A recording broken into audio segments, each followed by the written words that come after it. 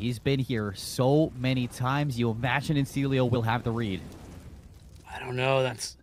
I don't think he's been in this angle specifically. He's been in Divider. Flashbang. Good to allow him to get Castle down, but now that leaves his A site vulnerable. But Oh, I guess Alpha. Alpha can do it with the 5-7. 5-7. Not easy to hit those shots, but Alpha looks like it's a walk in the park. 15 for Sprout. The